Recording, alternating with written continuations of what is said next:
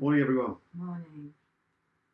Um, so I have the privilege this morning of just opening up the scriptures a little bit. Um, I've been really encouraged. I've been listening to John Cleveley a lot, who's been doing a series because this is Holy Week. You know, the week between Palm Sunday and Easter Sunday, and and just looking in the the um, the Gospels at all the events that happened between Jesus entering Jerusalem to all those cries of Hosanna and uh, all the things that happened in that week leading up to the crucifixion. And when he spent time in the temple and he threw out those who were misusing it, he wanted it to be a place of prayer. And, um, and then he had these encounters with the religious leaders, really challenging them. They were so in opposition to what Jesus was doing.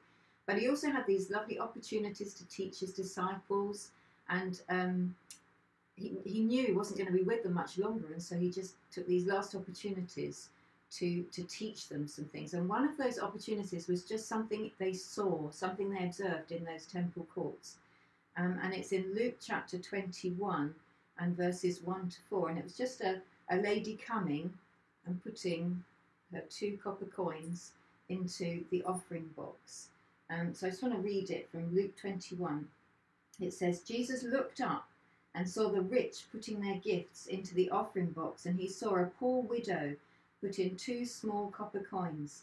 And he said, Truly I tell you, this poor widow has put in more than all of them, for they all contributed out of their abundance, but she, out of her poverty, put in all she had to live on.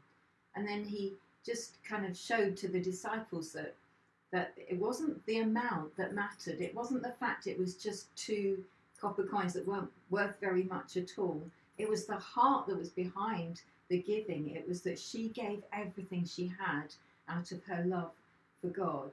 And she's commended for it. And I think, you know, sometimes we think what we have to offer is just so meager, so so little, and what's the point? It's so valueless. And yet Jesus doesn't look at the value in the monetary terms. He looks at the heart behind it and whatever we bring, however small our contribution, it's the heart behind it that really matters.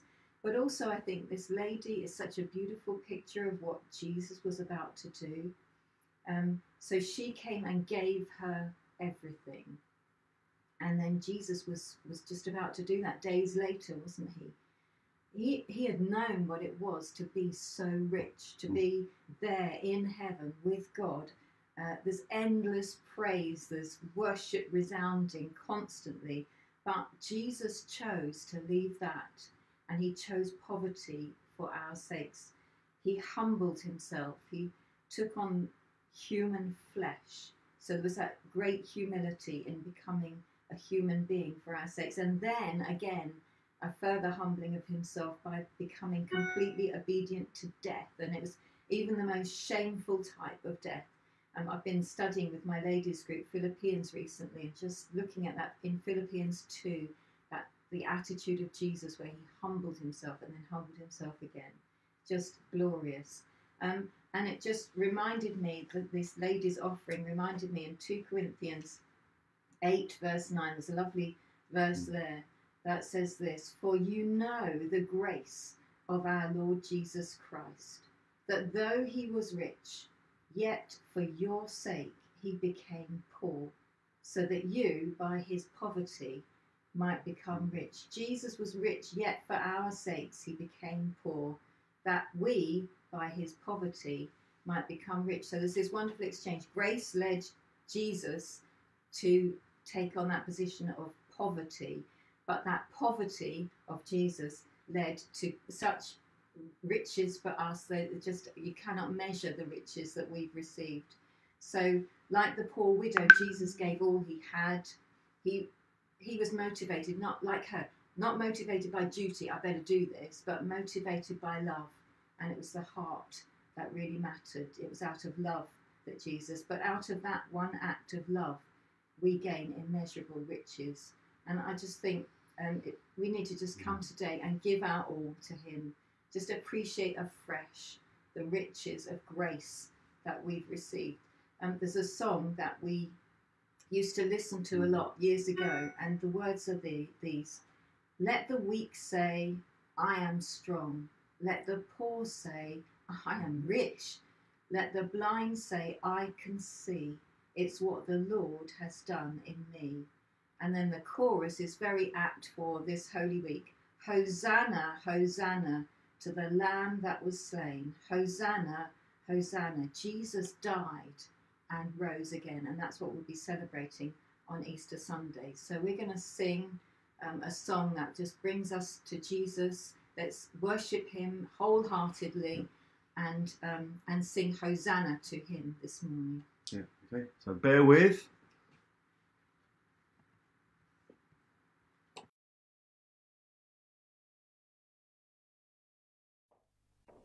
Hi everyone. So uh, we thought we'd start with a song of worship, really familiar, Praise Is Rising.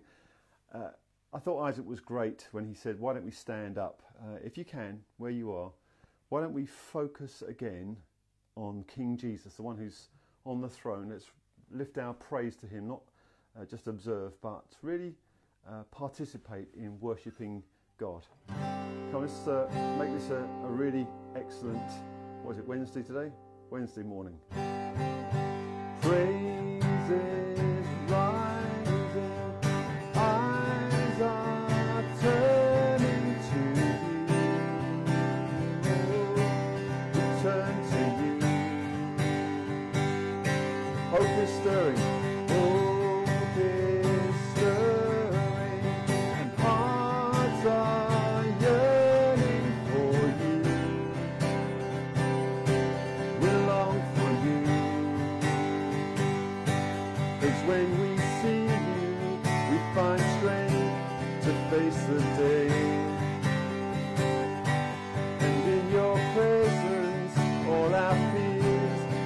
Washed away.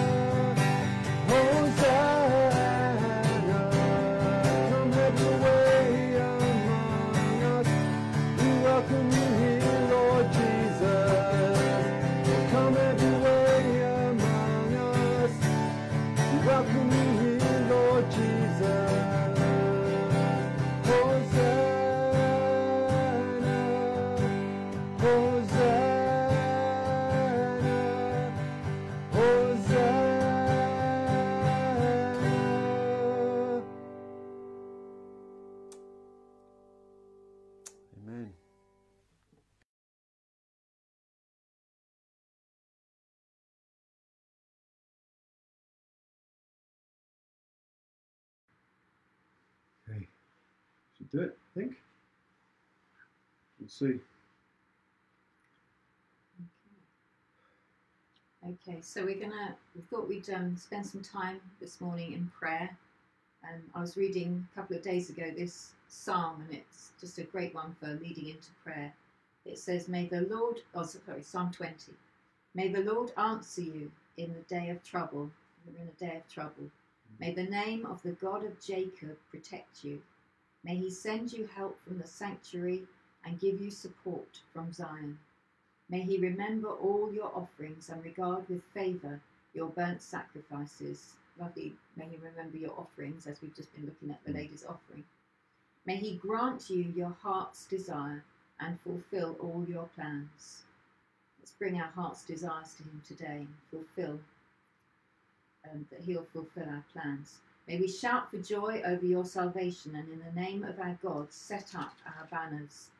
May the Lord fulfill all your petitions. Yes, We're going to bring our petitions to God now. Now I know that the Lord saves his anointed. He will answer him from his holy heaven with the saving might of his right hand. Some trust in chariots and some in horses, but we trust in the name of the Lord our God. They collapse and fall, but we rise and stand upright. O Lord, save the King. May he answer us when we call. Amen. So.